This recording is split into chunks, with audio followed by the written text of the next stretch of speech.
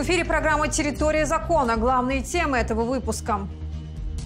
Продолжение истории с детской площадкой из лесопарка Басманный суд Москвы отправил на два месяца под домашний арест руководителя управления энергетики ЖКХ Рязани Игоря Ковалева. Получили условный срок. Вынесен приговор бывшим игрокам футбольного клуба «Рязань», напавшим на женщину. Обезвредили боеприпасы времен Великой Отечественной войны. В Шиловский район пришлось срочно выехать сотрудникам взрывотехнического подразделения ОМОН. На этой неделе задержаны первые подозреваемые по делу о детской площадке в лесопарке. Басманный суд Москвы отправил на два месяца под домашний арест руководителя управления энергетики ЖКХ Рязани Игоря Ковалева.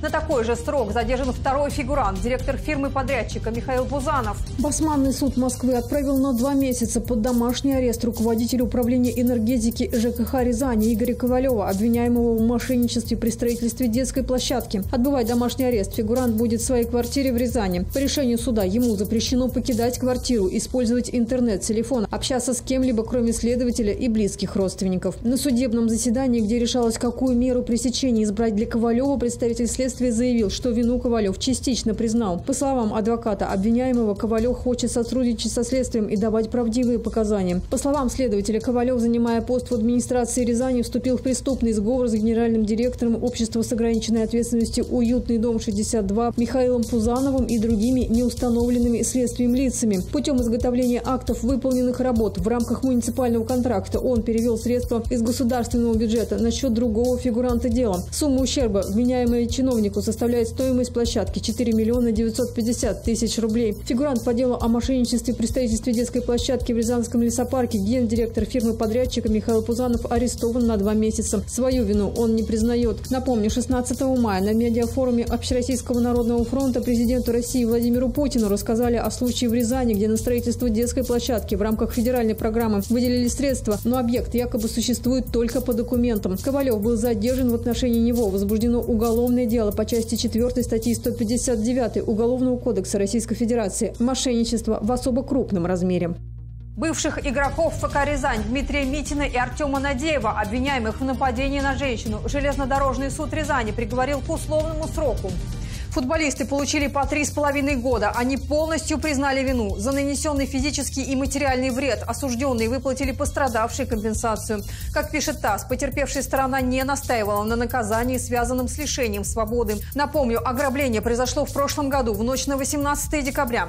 41-летняя женщина вышла на улицу, чтобы снять деньги в банкомате. По пути домой на нее напали двое мужчин, избили и отняли сотовый телефон и деньги. Подозреваемых нашли по записям уличных видеокамер. Подросток с пневматическим пистолетом пытался ограбить магазин в Рыбном. 14-летнего жителя задержали сотрудники уголовного розыска. Теперь ему грозит до 10 лет лишения свободы. Темная бейсболка, камуфлированная куртка, лицо замотано шарфом. Неизвестный пытался ограбить магазин в городе Рыбное. Продавцу он угрожал пневматическим пистолетом. Чтобы доказать серьезность намерений, предварительно выстрелил в витрину. Однако завершить ограбление он не смог. В этот момент в магазин зашел посетитель. Злоумышленник занервничал, взял с прилавка три шоколадных батончика и убежал. По мнению очевидцев, нападение совершил подросток, что было заметно по телосложению и голосу. В ходе оперативно-розыскных мероприятий полицейские установили, что к совершению разбоя причастен 14-летний житель Рыбновского района. Школьника разыскали и задержали. По предварительной информации, 14-летний парень, который проживает с родителями в Рыбновском районе, взял пистолет отца. С помощью ограбления он пытался раздобыть денег, чтобы приобрести мотоцикл. По факту разбойного нападения у МВД России по Рыбновскому району было возбуждено уголовное дело. В настоящее время подросток в присутствии мамы и сотрудников инспекции по делам несовершеннолетних у МВД России по Рыбновскому району дает пояснение о случившемся. Материалы уголовного дела готовятся для передачи в Следственное управление Следственного комитета России по Рязанской области. Стоит отметить, что уголовное дело возбуждено по части 2 статьи 162 Уголовного кодекса Российской Федерации, по которой предусмотрено наказание в виде лишения свободы на срок до 10 лет. Галина Кудряшова, телекомпания «Город». Два изнасилования 13-летней давности раскрыли рязанские следователи. Преступления произошли в 2006 году в городе Сасово. Пострадали две девушки 13 и 17 лет. Найти преступника тогда не смогли, хотя с места преступления изъяли следы пальцев рук. Природоохранная прокуратура после жалоб жителей в соцсетях приехала с проверкой в хвойный питомник. На неделе в интернет выложили видео, снятые недалеко от деревни Затишье Рязанского района. Автор жаловался на резкий запах и предположил, что большегруз перевозят неизвестные отходы. Приезжаем в деревню Синец. Вонь в машине такая, что аж глаза режет.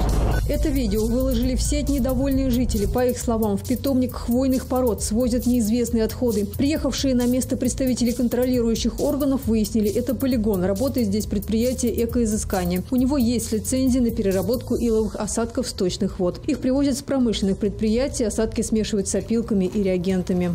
Четыре стоит на бетонной площадке. И пятый бурт на грунте. И Пятый дальше готовый продукт. Процесс брожения идет несколько дней. После того, как он окончится, бывшие осадки можно использовать для посадки хвойных деревьев. Первую партию планируется высадить за территорией. Это и будет тот самый питомник, о котором говорили местные жители. Пока же деятельность организации будут проверять. На предприятии отбирают пробы отходов. Например, эти завезли сюда 2 июня. Пойдем дальше. Пробы берутся даже с площадки со строительными отходами. по результатам исследования предстоит, э, во-первых, проанализировать расширительную деятельность органов контроля, какая расширительная документация была получена на данный вид деятельности, соответствует ли она природоохранным требованиям, соответствует ли данная деятельность э, санитарно-гигиеническим требованиям.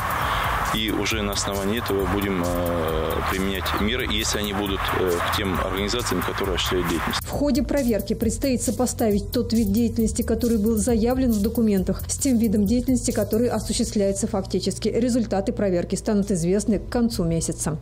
Купить права любой категории, сделать дубликат паспорта и других документов через интернет предлагали на сайтах. Занимающиеся противозаконной деятельностью ресурсы заблокируют. Какое наказание ждет владельцев, расскажем далее.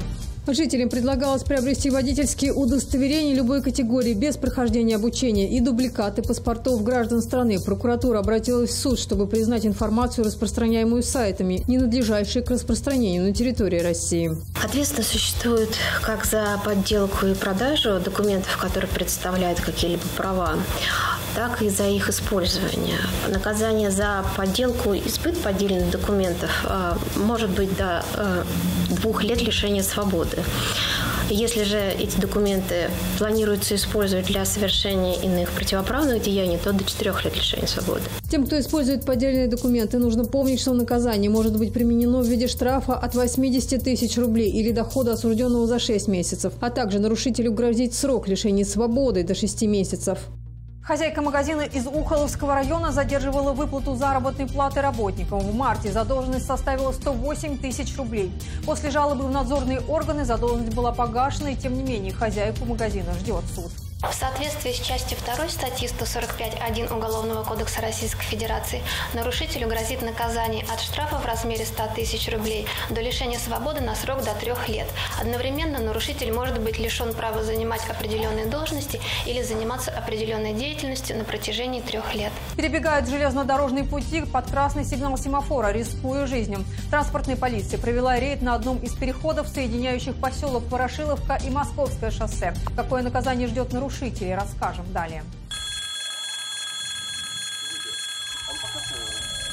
На переходе у платформы лагерной пешеходы вынуждены идти на красный. Семафор временно не работает, поэтому единственный способ попасть в поселок Ворошиловка и обратно – посмотреть по сторонам и просто идти. О приближающемся поезде предупреждают сотрудники железной дороги. Чуть дальше оборудованного перехода нет, но движение через пути такое же интенсивное. Транспортная полиция, инспектор ПДН Фролов. Ну почему нарушаете? Вы местные? Здесь проживаете? Ни маршрутки, ни автобуса нет. Мы это все понимаем, но тем не менее, специально оборудованный переход есть для этого на платформе лагерной. Там вы можете безопасно перейти. Это полезно для здоровья немножко прогуляться пробежаться. А здесь вы подвергаете свою жизнь серьезной опасности. Главная отговорка у пешеходов-нарушителей – маршрутки и автобусы в Ворошиловку ходят плохо. Перейти железнодорожные пути и сесть на транспорт на Московском шоссе – единственный способ попасть на работу. Пользоваться оборудованным переходом неудобно. До него нужно идти еще полтора километра. 66-го года как-то все просим, просим, дайте нам. соблюдать правила. Нужно соблюдать, а не стараться. Мы всегда все смотрим, в наушниках не ходим. Ну вот правила вы знаете, но тем не менее нарушаете. На первый раз предупреждаю. Все, аккуратней, счастливого вам пути. Транспортные полицейские на первый случай выписывают предупреждение. За повторное нарушение грозит штраф. Всех, кто переходит здесь пути, просят в первую очередь подумать о своей безопасности и соблюдать правила. Переходят в неустановленных местах, они серьезно подвергают жизнь своей опасности. Поезд движется очень быстро, тормозной путь у него очень большой. У пассажирского это от 300 до 600 метров, у грузового поезда, учитывая, что он тяжелее, инерция у него большая, это от 600 метров до полутора километров. Поэтому остановиться он сразу не сможет. И человеку очень тяжело увернуться и спастись. В июле-августе прошлого года в Рязанской области зарегистрировано три случая травмирования несовершеннолетних. Один смертельный, два поражения электрическим током. Поскольку у нас электрифицированная железная дорога, над рельсами идет контактный провод, в котором напряжение от 3000 до 27 тысяч вольт в зависимости от участка. Поэтому, когда приближается человек к этому проводу, касаться его не обязательно, достаточно на полтора-два метра приблизиться и переходит статически этот разряд на человека. Получает очень серьезные ожоги, вплоть до смертельных исходов. В городе самыми криминогенными переходами являются Рязань-Лесок и Стенькино-Денежниково. Туда чаще всего выезжают сотрудники полиции. Кроме того, на таких станциях часто находят подростков, находящихся в опасном положении или ушедших из дома. Артиллерийский снаряд времен Великой Отечественной войны калибра 245 мм обезвредили в Шиловском районе сотрудники взрывотехнического подразделения ОМОН. В начале недели предмет, визуально схожий с боеприпасом, обнаружили жители поселка Прибрежный при проведении земляных работ. Оказалось, что это не последняя опасная находка. Предмет, похожий на боеприпас, обнаружили местные жители в поле рядом с населенным пунктом в Шиловском районе. Взрывотехники выехали на место, оцепили территорию и начали обследование местности. Работать пришлось целый день на жаре, пока все боеприпасы не были извлечены из земли. В ходе разведки сотрудниками инженерной службы были обнаружены 8 боеприпасов от артиллерийского орудия. После обнаружения Боеприпасы были уничтожены в безопасном месте. Как выяснилось, это были артиллерийские снаряды. Несмотря на то, что они пролежали в земле десятки лет, они представляли опасность. Сотрудники ОМОН с соблюдением необходимых мер безопасности уничтожили боеприпасы на месте накладным зарядом. И в заключение выпуска сюжет, посвященный ветерану следствия. Андрей Широков прошел путь от следователя районной прокуратуры до руководителя отдела по расследованию особо важных дел Следственного комитета. Занимался расследованием дел, которые прогремели на всю страну. Задержание членов слоновской группировки, дело монстров из Старожилова. Воспоминаниями о них он поделился с нашей съемочной группой. Он расследовал одно из первых дел по слоновской группировке. Это потом история рязанской банды и рассказы о криминальных разборках, убийствах и грабежах прогремели на всю страну. Начиналось все со статьи «Бандитизм», тогда еще Уголовного кодекса РСФСР. Ветеран следствия Андрей Широков до сих пор помнит, возбуждено уголовное дело было 13 сентября 1996 года. В нем было множество эпизодов. Первое похищение коммерсанта у родственников требовали выкуп. Похитители, часть их, э, которые с ним находились, э, задержаны. Э, и, собственно говоря, некоторые из них, что называется, на уж на профессиональном сленге э, поплыли. То есть э, стали рассказывать не только об этом преступлении, но и о других преступлениях. Еще одно громкое дело, которое расследовал Андрей Широков о группировке, которая известна на всю страну под названием «Монстры из Старожилова». В небольшом поселке начали происходить страшные события – убийства, ограбления. За плечами банды несколько убийств, в том числе девушек. Труп одной так и не нашли. Несколько убийств, э, в том числе и сказать, можно сказать, совершенно немотивированных, э, поскольку отсутствует и какой-то корыстный мотив, э, просто э, на фоне потребления спиртного, но тем не менее связанный с особой жестокостью. Главарь банды был приговорен к высшей мере наказания – расстрелу, который потом заменили на пожизненное заключение. Андрей Широков проработал руководителем отдела по расследованию особо важных дел регионального следственного комитета до 2010 года. Бывших коллег не забывают, часто заходят в гости. Сергей Юрьевич, приветствую. Почти с инспекцией.